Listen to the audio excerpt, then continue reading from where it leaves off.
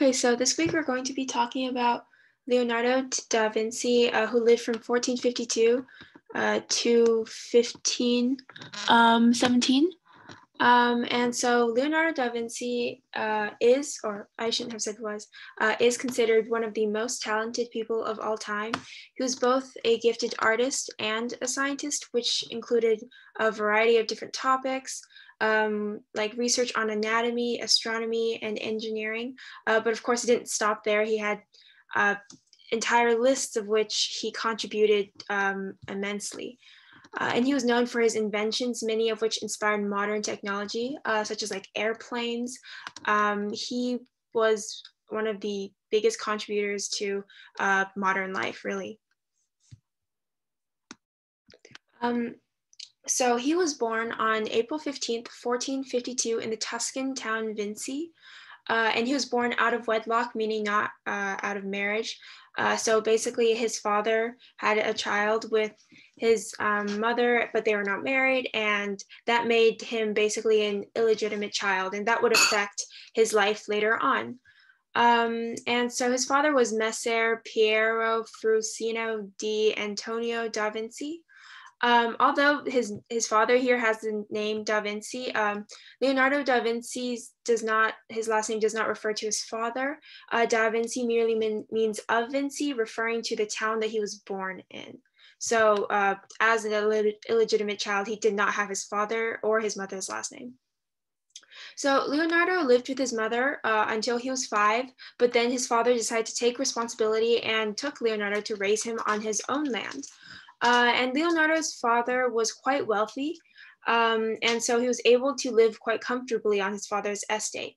Uh, from his father's subsequent wives, of which he had multiple, Leonardo would get up to 12 half siblings. It's unknown on whether he was really close to any of them, but he did have many. Uh, he didn't really receive a formal education of some sort, but he always showed like an interest in nature and art, and he was always like a very, um, very talented, inquisitive uh, person. So, uh, teenage life. Uh, Leonardo knew that he would not be able to inherit anything from his father because he was an illegitimate child, uh, and thus he decided to become an artist. Uh, and at 14 years of age, he was introduced to the notable artist at that time, Andrea del Verrocchio, uh, and became a helper. Uh, after seeing uh, Leonardo's talent, um, he became an official apprentice. Um, and here's a picture of Andrea del Verrocchio um, at that time.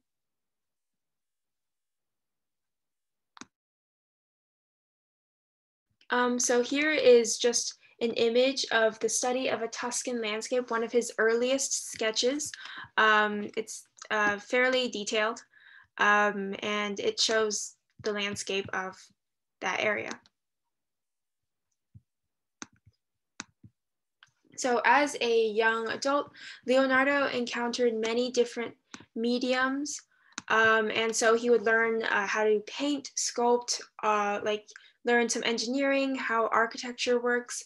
Uh, and this would be um, one of his uh, earlier educations on, and like he, you can see that in the future, he becomes extremely talented in many of these um, styles. Uh, and he continued to stand out amongst other apprentices due to his sharp, inquisitive mind and his artistic talent. Uh, and at 20 years old, he helped Verrocchio paint the baptism of Christ for the Catholic Church. Um, and he was only 20 at the time, so the talent that was shown inside this painting uh, really um, showed his skill. And so this is a picture of the painting Baptism of Christ by Andrea del Verrocchio. Uh, and Leonardo worked as an apprentice for this artwork, and he painted the two angels on the side, uh, which is right next to Jesus. Uh, and he, it was considered to be like the best part of the mural. They were supposed to be superior to the um, drawings and paintings that Andrea himself did. Uh, and there was a popular myth that after Verrocchio saw Leonardo's paintings, he never painted again due to how much better Leonardo was uh, than him. Um, obviously, though, that wasn't quite true.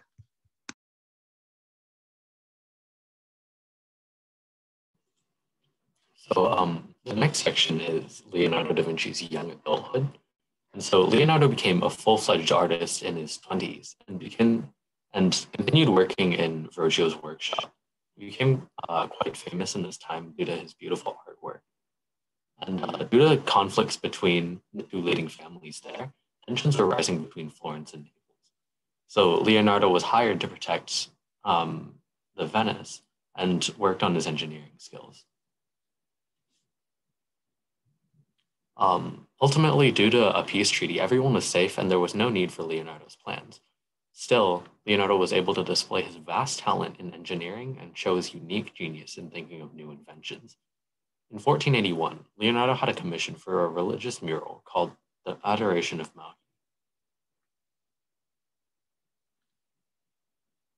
The Adoration of Mach. So beautifully planned and conceptualized, but remains unfinished. It was Leonardo. Uh, Leonardo was not pleased with this results and abandoned it, and um, this was pretty common for a lot of Leonardo's works. And due to a habit uh, of leaving paintings unfinished, uh, led to a lot of legal troubles as well as controversial reputation. Da Vinci uh, decided to move to Milan. Uh, da Vinci was already an extremely talented artist, but he, came, but he became very interested in exploring engineering and the creation of weapons. He came to Milan hoping he would be able to make career change. However, the Duke of Milan, who invited him, wanted Leonardo to paint a portrait of his mistress instead. Leonardo's artistic talent overshadowed his other aspirations. Um, the lady with, or uh, the lady, or the painting portrayed Cecilia Gallerani, mistress of Duke of Milan, another one of Da Vinci's masterpieces. The detail in the painting was a testament to Leonardo's skill, as was the unconventional way she was placed as to show three quarters of her face. Uh, Leonardo continued working for the Duke of Milan. He was commissioned to do many things, including creating a huge metal horse and even engineering weapons. He also painted one of his most famous paintings in this time called The Last Supper. He would continue working for the Duke for 17 years, during which he made several uh, anatomical discoveries preserved in his notebooks. The Last Supper. Uh, he took three years to complete the mural, and it's one of the most copied religious paintings in the world. Uh, the painting depicts a scene in which Jesus announces one of his apostles' uh, eventual betrayal.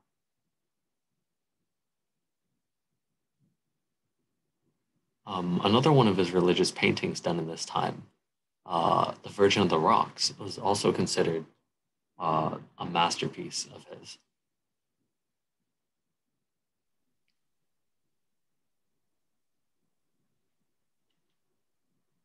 Adulthood. Um, unfortunately for Leonardo, the Duke of Milan had his reign overturned and he had to leave his place of high status. Uh, Leonardo was forced to return to Florence, where Michelangelo, who was another very famous artist at the time, and many other young uh, upcoming artists were dominating the industry. Um, so if you guys remember, we learned about Michelangelo last week, and um, you guys can go back to that um, video session if you guys don't remember much about him. In old age, Leonardo decided to continue expanding on his engineering ambitions and was hired by Cesare Borgias, he wanted to make weapons that could be used by the military, and Borgias was interested in his revolutionary ideas. However, Leonardo found that he could not stomach the violence and decided to stop pursuing his engineering ambitions. Leonardo decided to go back to painting, and it was during this time that he started and finished the painting of the Mona Lisa, which was which is known as one of his most famous works.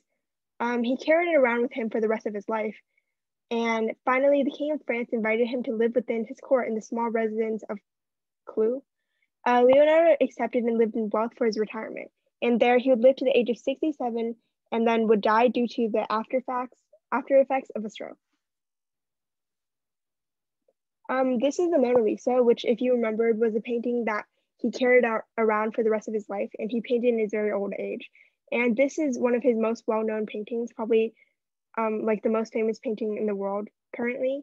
And the woman in this painting um, is known as Lisa Gherardini. However, her identity is not clear, and this is just a general theory. There are many theories of if she's even real or not. Um, and this painting currently resides in the Louvre Museum in Paris, France. This painting has had an extremely great influence on the Renaissance. For example, the famous painter Raphael used the Mona Lisa format for many of his paintings.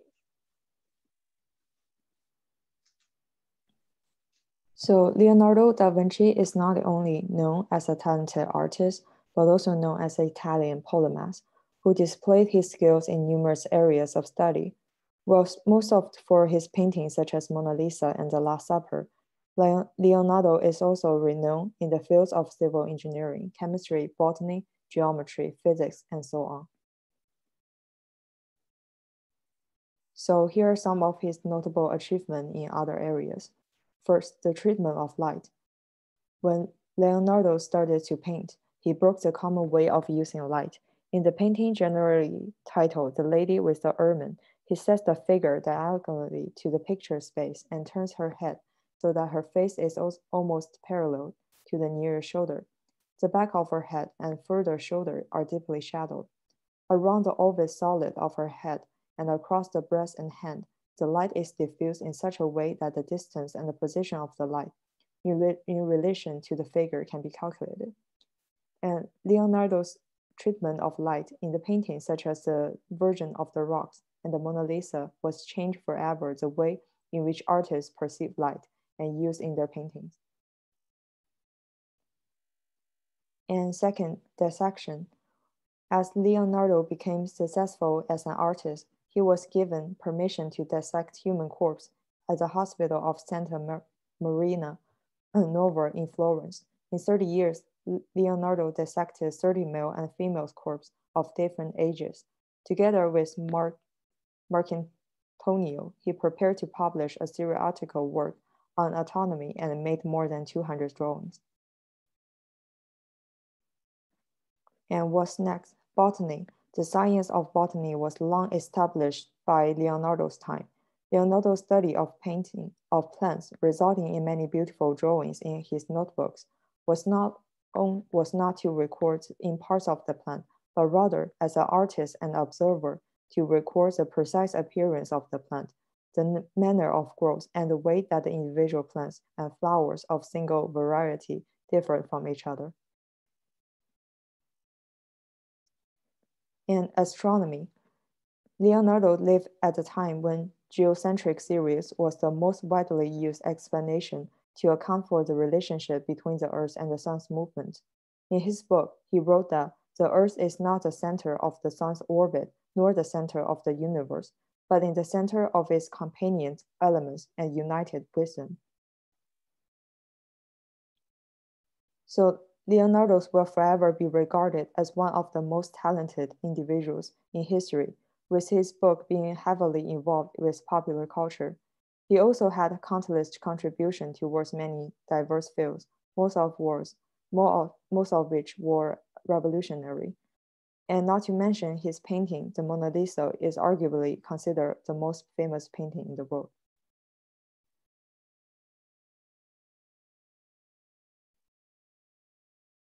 So that is the end of the lecture. Thank you.